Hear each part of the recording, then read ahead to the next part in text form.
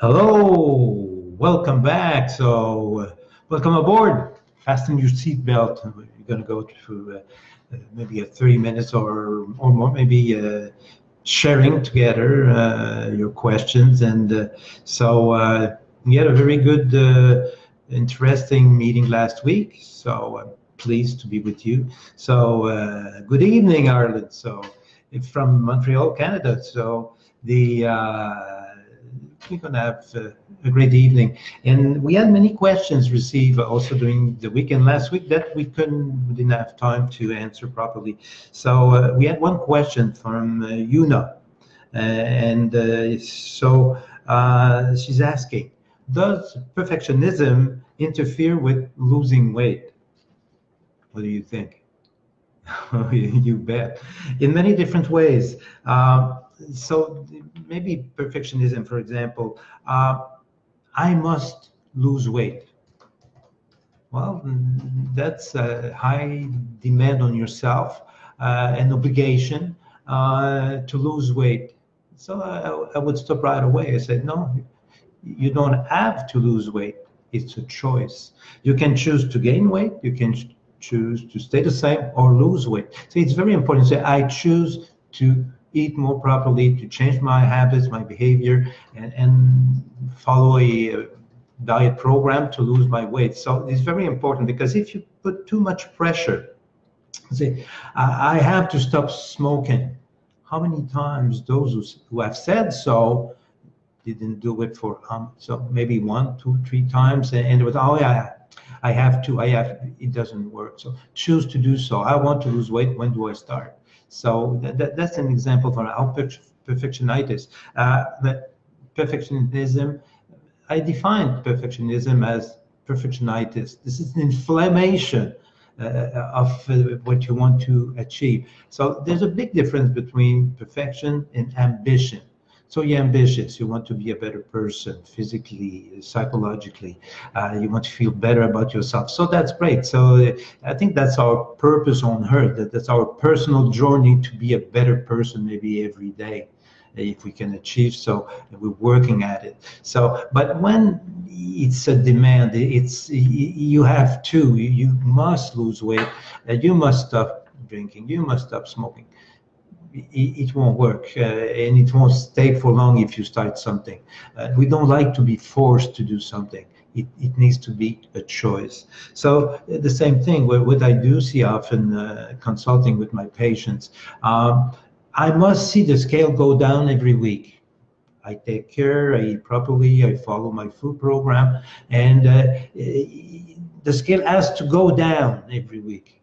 Well, unfortunately, no because unfortunately the scale doesn't measure only the fat loss. It measures all kind of things. It measures uh, your muscle. If you're training you have started a, uh, gym program or exercising you're building up muscles. It weighs you're going to weigh more. So even if the scale doesn't go down doesn't mean that you're not losing fat? But if you have not thought about it. So, so, you may say, gee, I can't lose weight anymore. Even if I exercise, the scale doesn't go down. So it is very important. So uh, to not expect to uh, uh, every week to lose weight. Ex expect every week to, to follow properly your, your food program, your exercise program, uh, be happy with yourself. And sooner or later, the, the scale will show you that you're using weight. If you overeat, it's okay. You have overeaten and you gain weight. Well, that's that's responsibility. You have overdone it, you have the consequences. Don't feel guilty about it. You have the right to cheat. That's another thing of perfectionism. Uh, I shall never slip. No, that's not true. It's impossible. One day or the other, I don't see any, I've not met any human being uh, that has not slipped once or twice or more, even 20 times.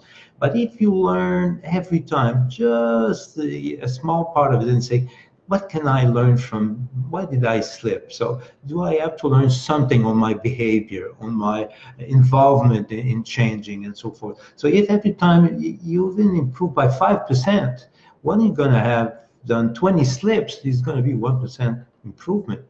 Uh, so that's very important. So perfectionism is uh, is a major fault. Incidentally, be ambitious, try to be a better person every day, but try to stay away from perfectionism.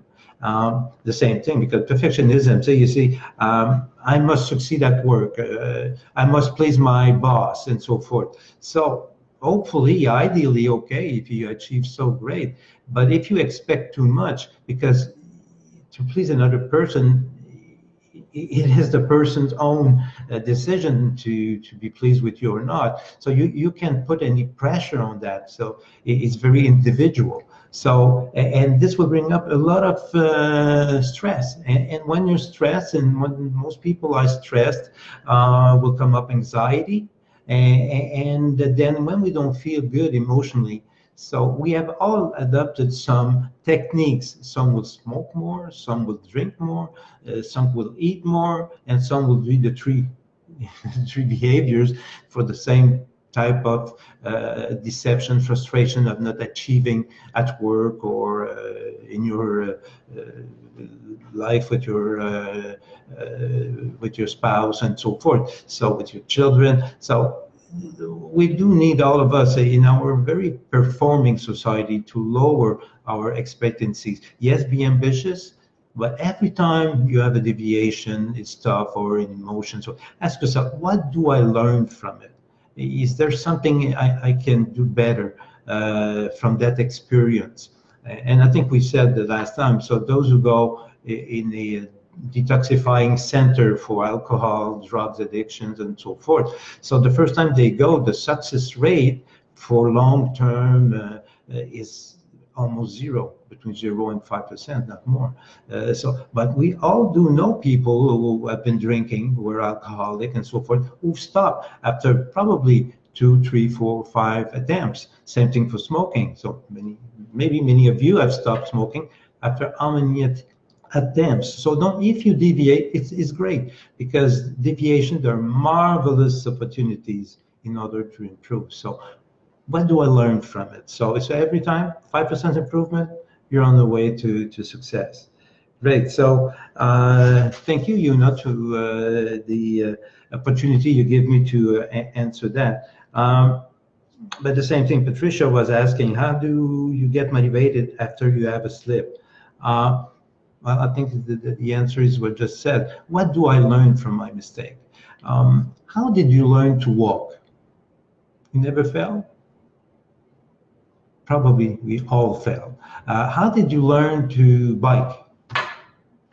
Same thing. So we, we probably by falling because everything said, mm, okay, there's something I have to adjust and do it better. So uh, slipping, uh, failures, they're not really failures. Uh, the obstacles maybe me going the right direction. If I learn every time just 5%, 2%, ultimately I'll be able to achieve what I want to do. So be responsible but not guilty. There's a major difference between responsibility and guilt.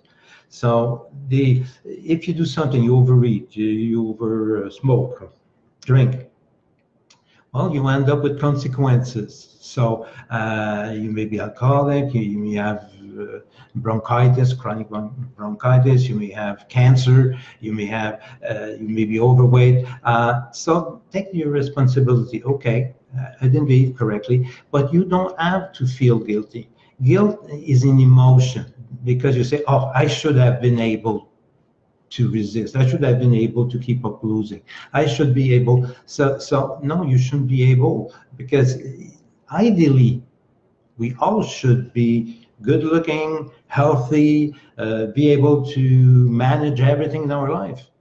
But we're human beings. So uh, give yourself the right to deviate, the, yourself to fail sometimes, but you're going to learn. It's not a complete failure, it's an opportunity. Every time it's an opportunity to be a better person along the way. So uh, learn from every mistakes and ask you, so what do I learn? What does it tell of me, of my behavior, of my thoughts, and you're going to keep up improving. So that keep up. That, that that's the only thing. Don't be perfect, but keep up one day at a time and learn small percentage at a time, and you're going to end up uh, succeeding. That's for sure. so that that's interesting. So we have got Mary. Uh, she, she, says, uh, "I'm a uh, consultant in motivation, which I adore." So great! Uh, it's incredible to see how the plan has changed so many lives. So grateful to be part of it, Kelly. Uh, that that's a uh, interesting. I'm a very lucky man. I have to say to you that almost every day I say people that it changed their life. And, sometimes we say just few words, uh, but they give the person, if they're ready to it, they're going to take it and make some profound long-term changes in their life. And so my job uh, sometimes, and probably the same, uh, Kelly Mary, uh, for you, is to uh, uh, we work on the thoughts of people. What goes in their mind? What are they telling themselves in their mind? And uh, we we have to be some somewhere. We try to be a kind of a magician of the thoughts. So, what are the thoughts people have regarding their weight loss, uh, regarding the way to feel better with themselves, and not put as much pressure, not try to be perfectionistic and never fail. No. Uh, so, uh, just to change a little bit of those thoughts, it can make sometimes miracles. So, uh, I'm very privileged to to hear those testimonies, and I do see.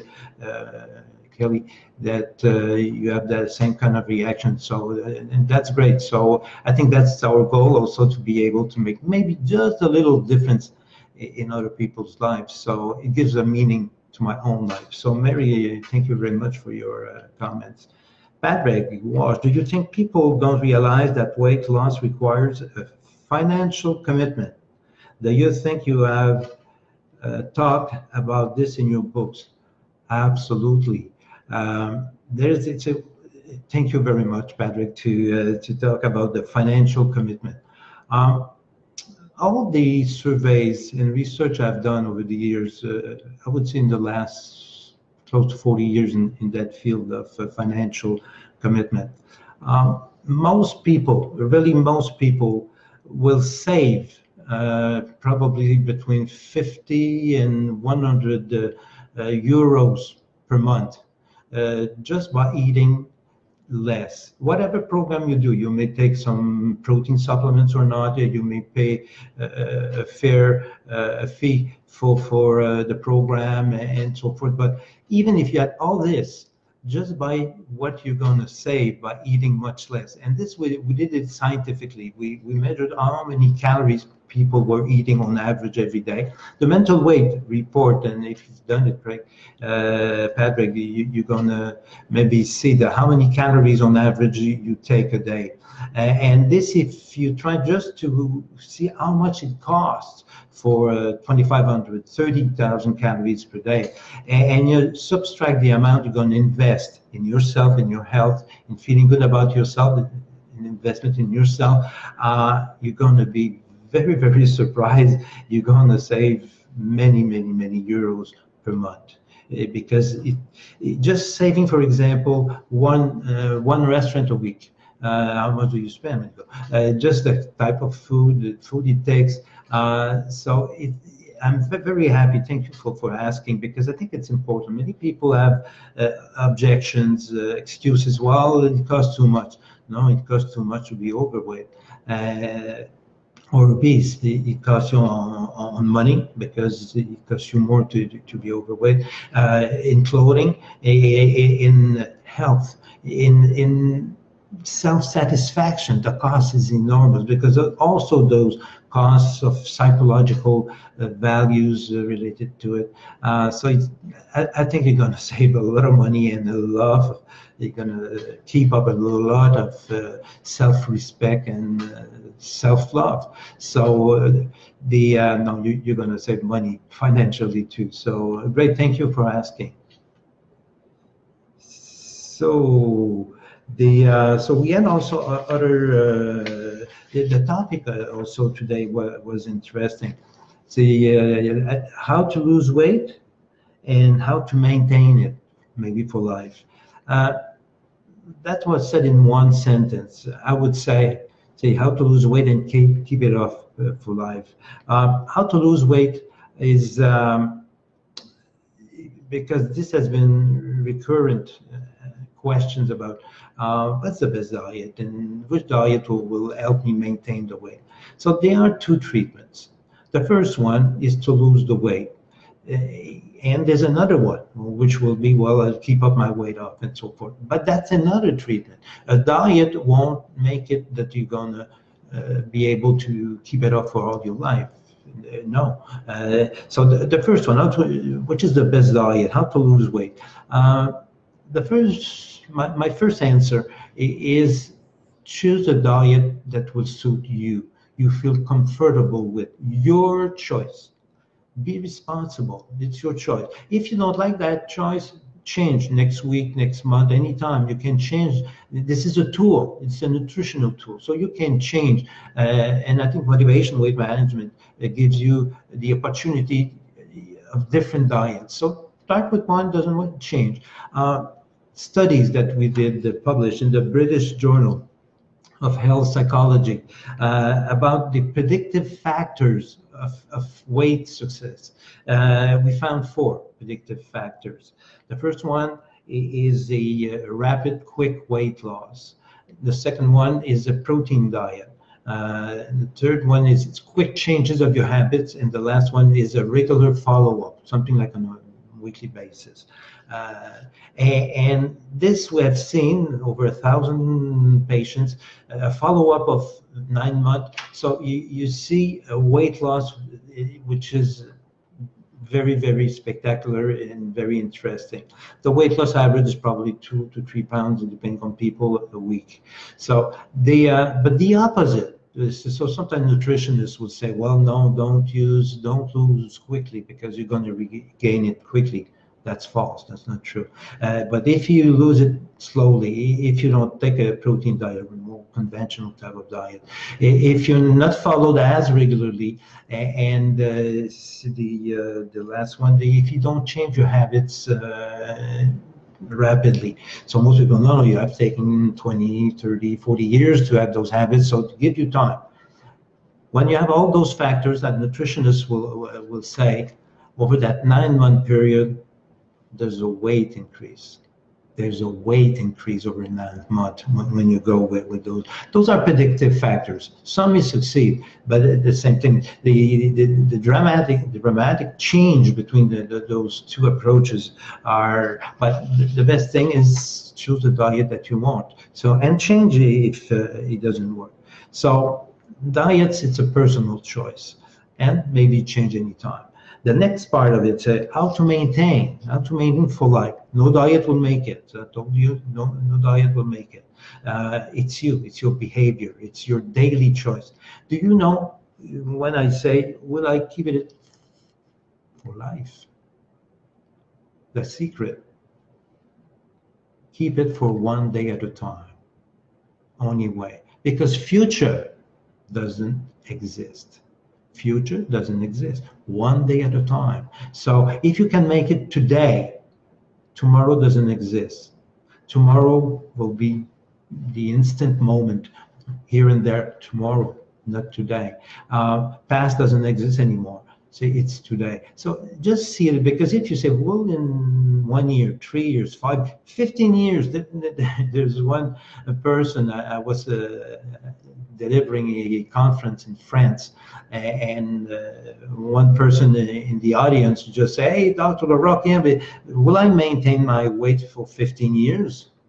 I don't know, and I don't mind, but you should do mine today. Can I maintain it today? And I think yes, you can do it. But choose yourself. Choose yourself every morning, looking at yourself in the mirror. Hi, how do you do? Well, you may say, "Yippee! I'm happy to be here today, to be alive, and try to do my best today to be a better person if I can make it today. So that is very important.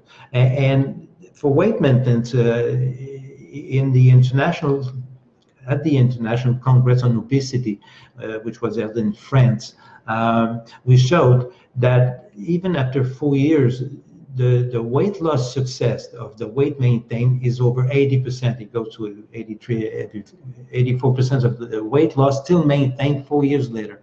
If you don't have that follow up, the secret is it, has a regular monthly follow-up, maybe with the mental weight questionnaire. So to make sure to focus on, on where I stand today or this month. And so it, the success rate is very high. Otherwise, and that study showed it too, after four years, the success rate, because it was still a success, it was only 6% of the weight loss maintained. So I prefer to have 84% of success rate. But the secret, be followed after. Don't quit because we're a new person every day. So nothing, we're not built in cement.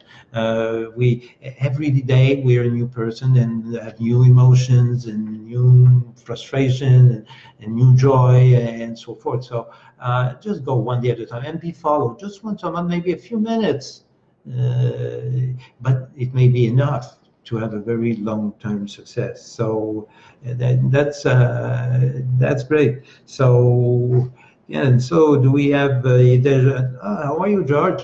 Hopefully you are doing you are doing good. What advice would you give a client who struggles with the guilt of slipping off their plan? Yeah, we we spoke of it. So sometimes the first time I, I meet a client, all the time I, I tell them, let's see, get, we, you have chosen that diet, we have it explained it to you and so forth. But I know that probably one day you will want to stop because you're going to have gained uh, one pound, two pounds, three pounds, uh, a stone, uh, one stone. So whatever you gain, please, we're going to make a moral agreement between us. Come and tell me that, that you have that you want to quit because it doesn't work anymore, you gain uh, a stone uh, and so So do you commit to come and tell me? And then I say, you know what, what I'm going to tell you? Congratulations to be here. Congratulations. Oh, yeah, I feel miserable about my congratulations to be here. I know it was tough because your pride and the guilt because I should have been better. I should have been able not to regain that one. Well, you're just human. So we have a marvelous opportunity in order to understand what's going on and maybe improve next time. So I will ask them what happened, since when, and, and then we can say maybe there was some stress, uh, uh, emotions related to it, uh, uh or just a lack of motivation.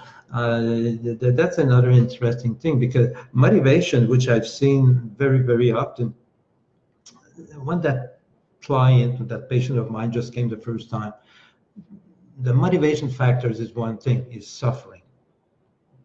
They, they, they hurt uh, from psychological or physical uh, aspect of it. So they don't feel good. There's a lot of physical or psychological suffering. After maybe uh, one stone or two stone uh, of weight loss, they don't hurt as much. So they have reached their unconscious goal, uh, which is not to suffer as much.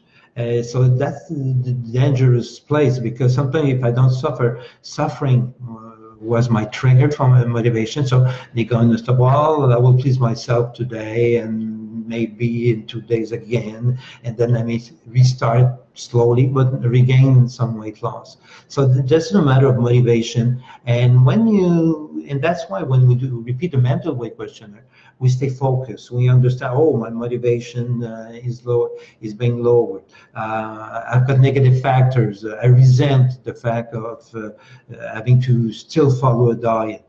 Uh, I regret losing the food I like when I'm the diet. It's too much effort uh, and I can handle it, or, or, or I can do it with doubts. I mean, uh, if I do this and you see I regain weight. So all those negative thoughts, they are thoughts, they're only perceptions, they don't exist really. It's thoughts. Well, the good news is we can change our unrealistic thoughts, and that's the goal of the, the motivation program. So great. The uh, hi, Aisling. What is your advice with clients who have uh, motivational blocks? So uh, read my books. they, uh, yeah, that, that that's a category, a category of people who have blocks. So uh, meaning that they try to lose weight, they have good intention and so forth, but um, something inside their mind will prevent them from succeeding. It may be fear of success. It may be uh, guilt uh, I don't deserve uh, to be uh, healthier, to be nicer looking, and and so forth. So uh, there are all kind of blocks, and you're gonna find it uh, in the, the, first book that I've written, "Be Thin Through Motivation." Uh, this was written in 1982, I think, so uh, it's already uh, almost 40 years now. So there are reasons. It's very interesting to um, to to understand this.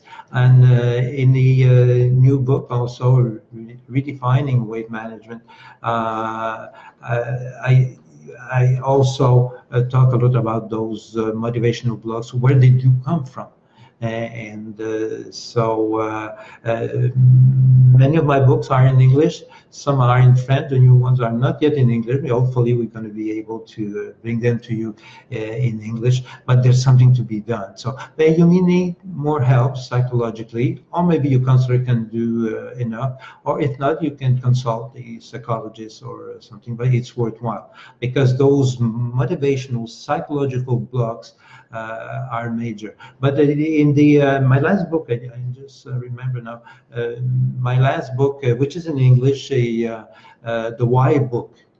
I recommend to you. It's a kind of usually I use to talk, to talk about my Bible. So everything is in there, medically, uh, psychologically, emotionally. Uh, so exercise things. So everything is in there. You're gonna have those answers.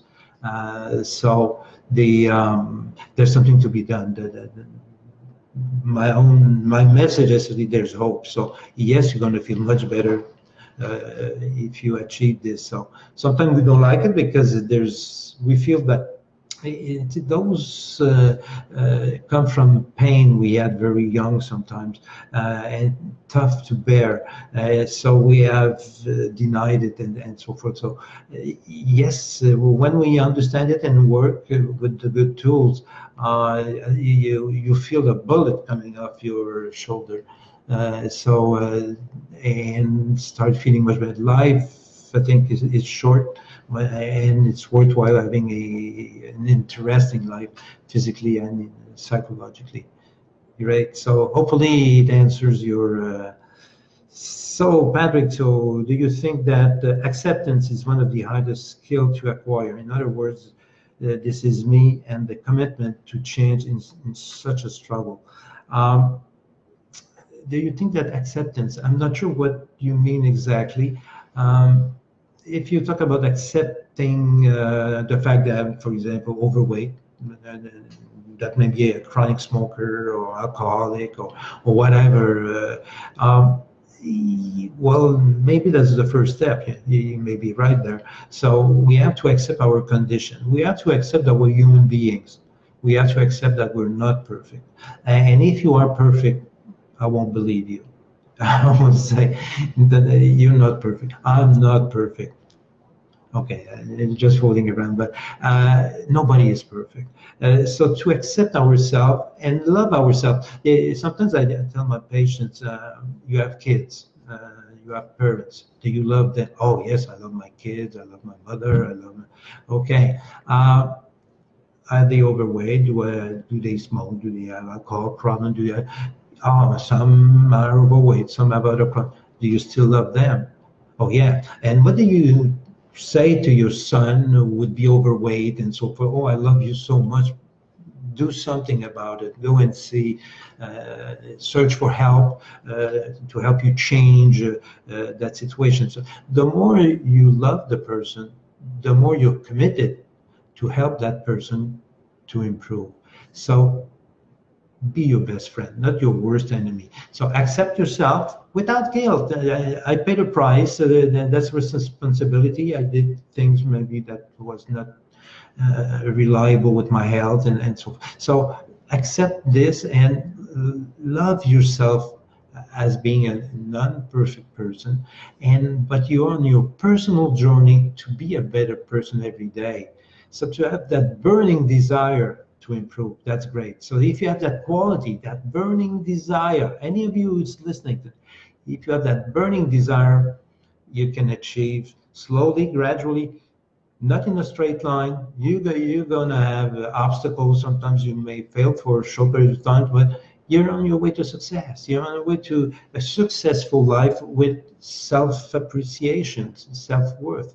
So uh, yeah, to accept ourselves is uh, very, very important. Uh, great, Patrick. Thank you.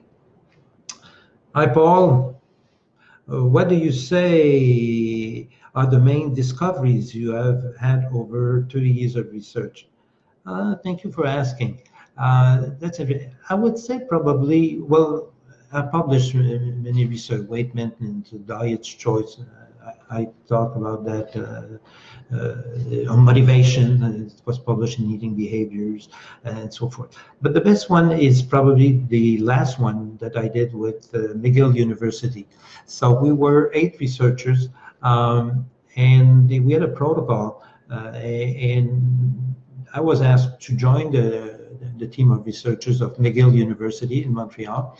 And the overall idea they had, uh, and I was the only one having a different view, uh, we do think that, for example, uh, weight loss and weight maintenance is related to hormones. Uh, so in the past years, uh, uh, different hormones, the ghrelin, leptin, uh, we talk a lot about insulin, glucagon, uh, cortisol. So that hormones were playing a major role uh, responsible for the weight evolution, gaining the weight or losing the weight. So and also we have chosen the uh, group of persons. Uh, they uh, they had to go through the mental weight questionnaire.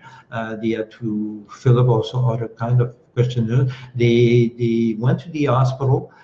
they had their blood taken, and we were measuring all those hormones. I think there was almost 20 different items that we, we measured, and we put those people in a MRI machine.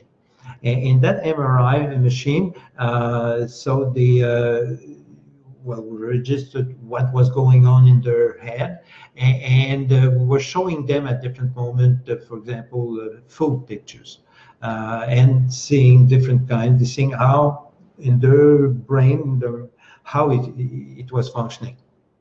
We did that before starting a diet program. We, we did that uh, a month later, and we did that three months later. And the overall results, in which I was very happy with, it's all between our ears. Um, so we've seen that what was going on, it wasn't the weight loss uh, or the weight gain was not related uh, to uh, to the hormones. We couldn't find any correlation with hormones and the weight evolution, but we could see a relation between what goes on on the neurocognitive centers in the brain. So these neurocognitive centers, I mean, this is where your thoughts go. So this is where, so it means that it's really between the the, the ears and the thoughts, your thoughts, the, these patients' thoughts that we could relate to the weight evolution. So, uh, well, it, it, confirms. So, my first book, I think I said uh, Be Thin Through Motivation, which was the first time appeared in 1982.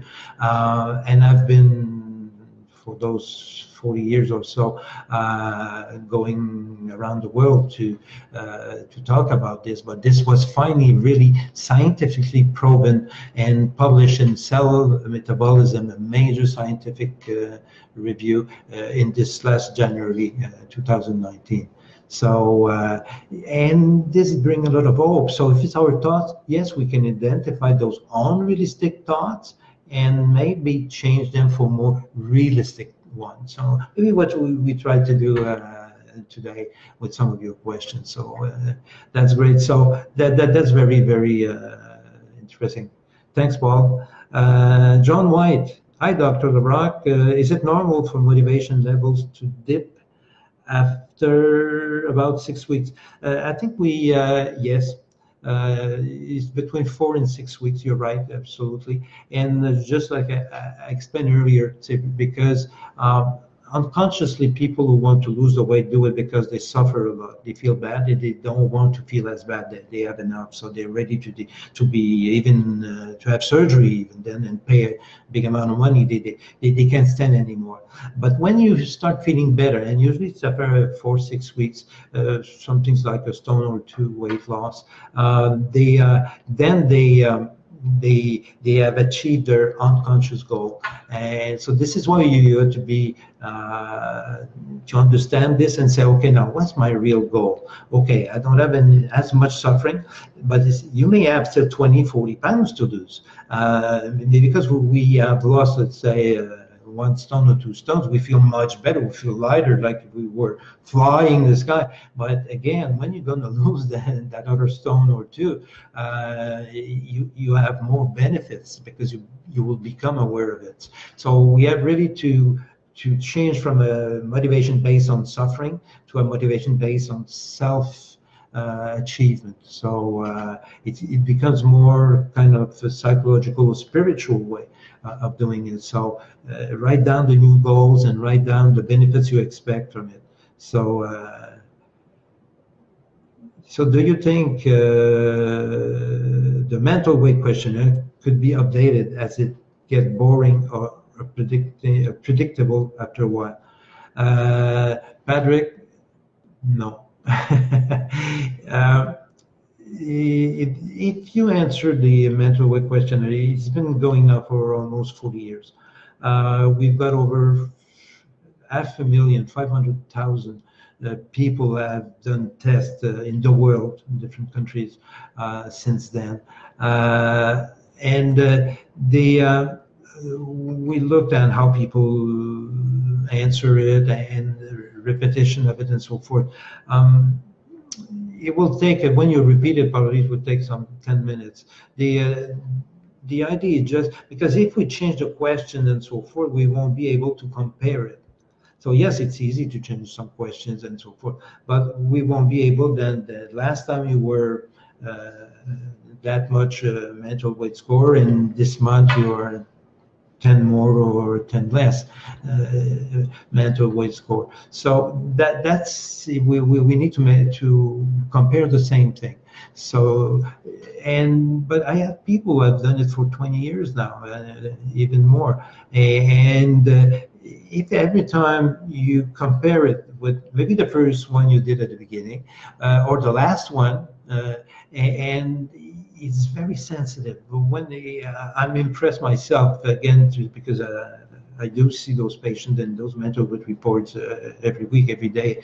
I'm, I'm consulting, uh, and the uh, uh, I'm, I'm very impressed by the sensitivity of the. So, so if you compare, for example, my motivation, the negative factors of motivation, whoop, this Monday may be more important. So good the scale goes down, so more important. Okay, what's going on? What do I?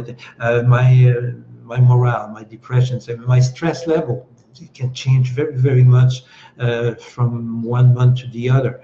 Sometimes we say from one day to the other. Uh, I remember uh, lecturing with a group of physicians in France uh, for a complete weekend they would get in Friday night. We would start uh, uh, working together, and, and, then they would leave uh, Sunday night and uh, then I would do the make them do the mental weight questionnaire for, uh, first thing uh, Friday night, and uh, so I had a couple of physicians who were uh, having suicidal thoughts, uh, very depressive, and so forth. and to followed our programming, our program for the, those two days and a half, and, and we had we repeated it after two days and a half, and those guys with the uh, suicidal thoughts, well, with the depression, they were uh, much better and so forth. So we change our thoughts very rapidly. Uh, sometimes almost a few seconds about realizing that those thoughts were unrealistic. Uh, and I w- I don't want those thoughts. I want to change them for more realistic thoughts. Uh, so we can change dramatic and rapid change. So just see it as a tool to help you uh, and see where you stand right now. Uh, and try to answer as honestly as you can, because sometimes at the beginning, the people will uh, uh negate, they, they, will try to avoid to answer, they, they don't want to touch to the deep down uh, hurt that they feel, suffering that they feel. Um, so uh, go with how, how, you really feel, and it's a. Honestly, I, I, tell people and when I lecture to physicians, or uh, I wouldn't treat a, a, person who have a weight problem without it, because it's it's treating something without knowing the real cause. So, uh, and it's very sensitive again when you repeat it. So, I encourage you to keep up going, even if you feel that it's a bit boring. Uh, it's it's not predictable uh, uh, as you think if you feel, but just keep an open mind and see how you feel. Great, thank you, uh, Patrick. Uh, so, well, uh, we're already at an end. So, John, thank you. It's been perfect to share with you. So, feel free to send us your comments. So it helps us to, it helps me also to to be able to help you maybe a little bit more. Uh, and enjoy your time, and uh, we'll see uh, hopefully pretty soon. Ciao. Have a great night.